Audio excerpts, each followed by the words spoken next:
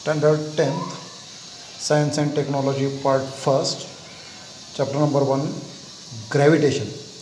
The numerical example is an iron ball of mass 3 kilograms is released from the height of 125 meters and it falls freely to the ground assuming that the value of g is 10 meter per second square.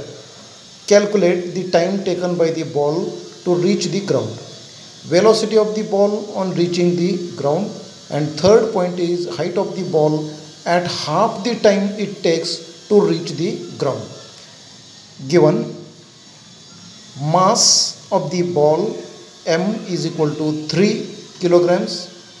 Displacement s is equal to 125 meters initial velocity u is equal to 0 meters per second acceleration a that is g acceleration due to gravity is equal to 10 meters per second. Solution. For the first solution we have to use the newton's second equation of motion. That is s is equal to ut plus 1 half gt square. That is at square so s that is the displacement is 125 meters is equal to u is equal to 0 therefore 0 into t plus 1 half into 10 meter per second square into t square. 125 meters is equal to 1 by 2 into 10 meter per second square. This unit is placed here and t square is multiplied like this. So 10 by 2 is equal to 5 therefore 125 meters is equal to 5 t square meter per second square. Therefore now t square will remain as it is and this 5 will go in the denominator to the another side. Therefore t square is equal to 125 meters divided by 5 meter per second square therefore t square is equal to 25 divided by 1 by s square. This 1 by s square will come to s square in the numerator. Therefore t square is equal to 25 s square. Taking square roots on both the sides we will get t is equal to 5s then the next value to be found out is to find the final velocity of the object. Then for this we have to consider the first equation of motion which is v is equal to u plus at so v is equal to u that is 0 is uh, plus 10 meter per second square plus sorry into 5 seconds. Therefore we will get this 0 will be out and then 10 meters per second square into 5 seconds.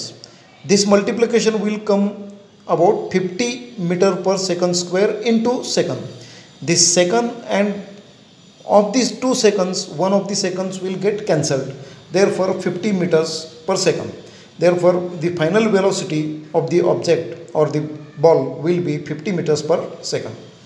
Then the third value to be calculated is the final height of the ball after half of the seconds half of the time to reach the ground. Then at half time we have to go uh, consider the displacement at the half time. According to the second equation of motion s is equal to ut plus 1 half at square. Now u is equal to 0 into t. 0 into t is 0 plus 1 half into 10 meter per second square into t which is 2.5 seconds. Because total time taken is 5 seconds. And half of the time means 2.5 seconds. Therefore 2.5 seconds raised to 2 therefore s is equal to 1 half into 10 meter per second square into 6.25 second square.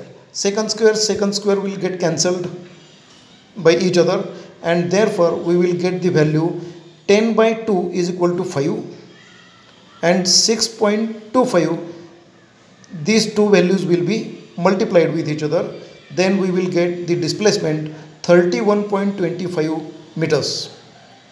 Okay. Then we will find out the height of the ball at half the time. The total displacement will be from A to B which is 125 meters. But now the displacement is from this A up to the point C which is 31.25 meters.